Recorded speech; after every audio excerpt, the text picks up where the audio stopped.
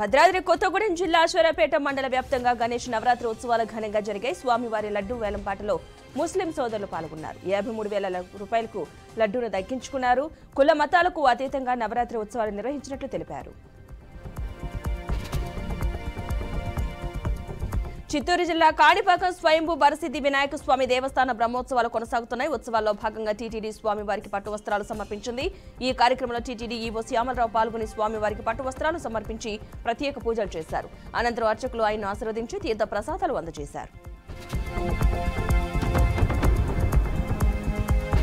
తూర్పుగోదావరి జిల్లా రాజమండ్రిలో rapid Uber Ola auto drivers union సర్వసభ్య సమావేశం నిర్వహించారు. డ్రైవర్లకు ఆయా యాజమాన్యాలు వసూలు చేస్తున్న సర్వీస్ ఛార్జీలు పెంచాలని డిమాండ్ చేశారు. దీంతో పాటు రైల్వే స్టేషన్ డీమార్ట్ కంబాల్ చెరువు ఆర్టీసీ కాంప్లెక్స్ తదితర ప్రాంతాలు బిజీగా ఉన్న ప్రాంతాల్లో కస్టమర్లు ఆన్లైన్లో ఆటో బుక్ చేసుకుని డ్రైవర్లను ఇబ్బంది పెడుతున్నారని ఆవేదన వ్యక్తం చేశారు. కాకినాడలో మోక్షగుండం విశ్వేశ్వర జయంతి వేడుకలు ఘనంగా నిర్వహించారు. JNTU retired irrigation engineering association ఆధ్వర్యంలో జరిగిన ఈ కార్యక్రమంలో బీసీ మురళీకృష్ణతో పాటు పలువురు ఇంజనీర్లు పాల్గొన్నారు.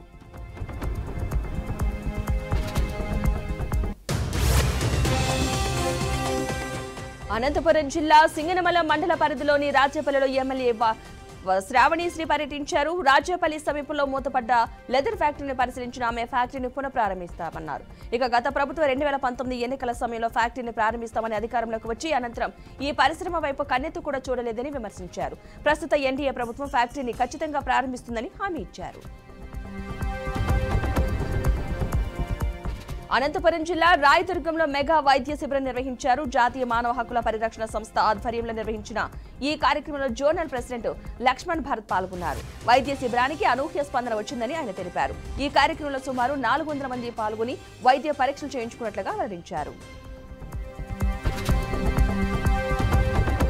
చిత్తూరు జిల్లా పెద్ద పంచాణి మండల పరిధిలోని గుండ్లపల్లిలో రోడ్డు ప్రమాదం చోటు చేసుకుంది. వేగంగా వెళ్తున్న బొలెరో వాహనం అదుపు తప్పి బోల్తా పడింది. ఘటనలో పన్నెండు మంది గాయపడ్డారు. గమనించిన స్థానికులు పోలీసులకు సమాచారం ఇవ్వడంతో ఘటనాస్థలికి చేరుకున్న పోలీసులు క్షతగాతులను స్థానిక ఆసుపత్రికి తరలించారు. కేసు నమోదు చేసుకున్న పోలీసులు దర్యాప్తు చేపట్టారు. చిత్తూరు జిల్లాలో యువకుడిపై దాడి చేసిన కేసులో పోలీసులు పురోగతి సాధించారు. దాడికి పాల్పడ్డ నిందితులను అదుపులోకి తీసుకున్నారు. నిందితుడు అరుణ్ తన ఇద్దరు పిల్లలతో పాటు పని మనిషితో కలిసి సాయినాథ్పై దాడి చేసినట్లుగా తెలిపారు. నిందితులు అరుణ్ యశ్వంత్ గిరీష్ జయరాం చిట్టుబాబుగా గుర్తించిన పోలీసులు వీరిపై నాన్ బెయిలబుల్ కేసు నమోదు చేసినట్లు వెల్లడించారు. చిత్తూరు జిల్లా బైరెడ్డిపల్లి మండల పరిధిలోని బేనుపల్లిలో ఎమ్మెల్యే అమర్నాథ్ రెడ్డి పర్యటించారు. గ్రామంలో అతిసార బాధితులను పరామర్శించారు. బాధిత ఆరోగ్య పరిస్థితులపై వైద్యులను అడిగి తెలుసుకున్నారు. బాధితులకు మెరుగైన వైద్యం అందించాలని అధికారులను ఆదేశించారు. అదేవిధంగా అతిసారతో మృతి చెందిన వ్యక్తి మృతదేహానికి నివాళులు అర్పించిన ఆయన వారి కుటుంబ సభ్యులకు పరామర్శించారు. చిత్తూరు జిల్లా పెనుమూరు మండల పరిధిలోని పూనేపల్లిలో డాక్టర్ బిఆర్ అంబేద్కర్ విగ్రహాన్ని ఆవిష్కరించారు. ఈ కార్యక్రమంలో ఎమ్మెల్యేలు థామస్ మురళీమోహన్ ఎంపీ దగ్గుమల ప్రసాదరావు పాల్గొన్నారు. అంబేద్కర్ విగ్రహానికి పూలమాలలు వేసిన ప్రజా ప్రతినిధులు ప్రతి ఒక్కరూ అంబేద్కర్ ఆశయ సాధనకు కృషి చేయాలని పిలుపునిచ్చారు.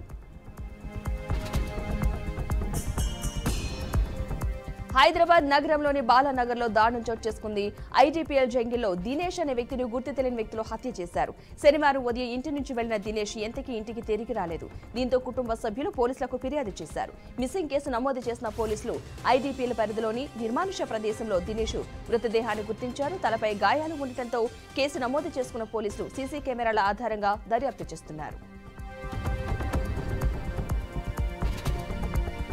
ఖమ్మం జిల్లా చింతకాని మండల పరిధిలోని వందనం గంగమ్మ ఆలయంలో యువకుడు ఆత్మహత్య చేసుకున్నాడు. గమనించిన స్థానికులు పోలీసులకు సమాచారం ఇవ్వడంతో ఘటనాస్థలికి చేరుకున్న పోలీసులు మృతదేహాన్ని స్థానిక ఆసుపత్రికి తరలించారు. మృతుడు వంశీగా గుర్తించిన పోలీసులు కుటుంబ కలహాలతో యువకుడు ఆత్మహత్య చేసుకున్నట్లు అనుమానం వ్యక్తం చేస్తున్నారు. రాజన్న సిరిసిల్ల జిల్లా తంగళపల్లిలో దుండుగులు రెచ్చిపోయారు. ఇంట్లో వంట చేస్తున్న వృద్ధురాలి మెడలో ఉన్న బంగారు చైన్ను లాక్కెళ్ళారు. గమనించిన స్థానికులు పోలీసులకు సమాచారం ఇవ్వడంతో ఘటనాస్థలికి చేరుకున్న పోలీసులు డాగ్ స్క్వాడ్ ద్వారా దర్యాప్తు చేస్తున్నారు. కరీంనగర్ జిల్లాలో సిపిఐ జాతీయ కార్యదర్శి ఏచూరి సీతారాం సంస్మరణ సభ నిర్వహించారు. ఈ కార్యక్రమంలో పలువురు కమ్యూనిస్టు నేతలు పాల్గొన్నారు. సీతారాం ఏచూరి చిత్రపటానికి పూలమాల వేసి నివాళులర్పించారు.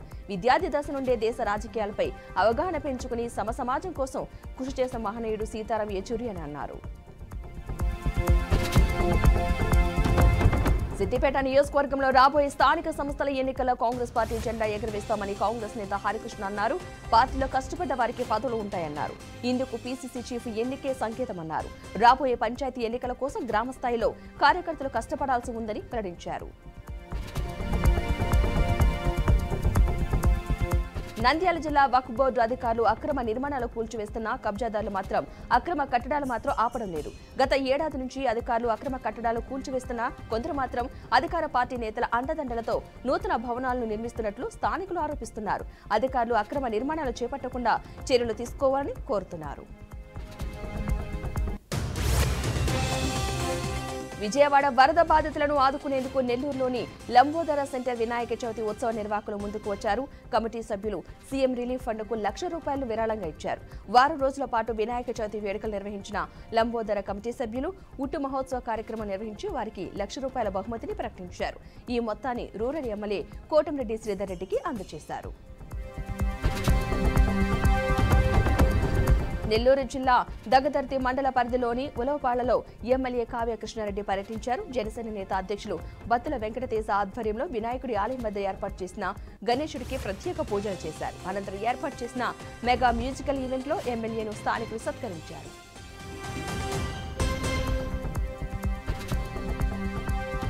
నెల్లూరు రూరల్ ఎమ్మెల్యే కోటంరెడ్డి శ్రీధర్రెడ్డి మరో కార్యక్రమానికి శ్రీకారం చుట్టారు. నారా లోకేష్ ఆరోగ్య రక్ష పేరుతో ప్రతి డివిజన్ ప్రతి గ్రామాల్లో వైద్య శిబిరాలు ఏర్పాటు చేస్తున్నట్లుగా తెలిపారు. ప్రజలకు కార్పొరేటర్ ఆసుపత్రుల వైద్యులతో వైద్య పరీక్షలు నిర్వహించి వైద్య సదుపాయం కల్పిస్తామని వెల్లడించారు. క్యాన్సర్ స్క్రీనింగ్ పరీక్షలను సైతం ఉచితంగా నిర్వహిస్తామన్నారు.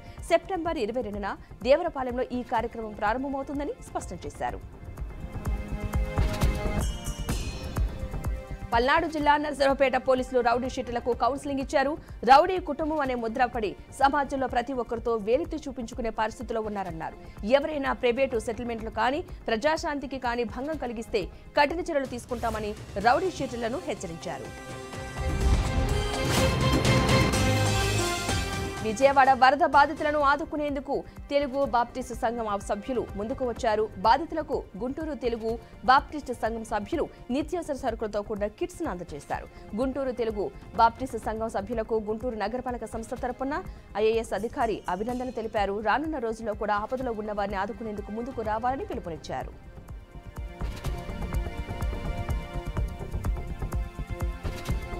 కృష్ణా జిల్లా నందివాడలో ఎంపీ వలభనేని బాలశౌరి ఎమ్మెల్యే వెనిగండ్ల రాము పర్యటించారు. వరద బాధితులకు హెచ్పీసీఎల్ సంస్థ సమకూర్చిన నిత్యావసర సరుకుల కిట్లను పంపిణీ చేశారు. వరదల వల్ల ప్రజలకు జరిగిన నష్టాన్ని కేంద్ర ప్రభుత్వం దృష్టికి తీసుకువెళ్తామని బాధిత కుటుంబాలను ఎన్డీఏ ప్రభుత్వం అన్ని విధాలుగా ఆదుకుంటుందని ఎంపీ బాలశౌరి తెలిపారు.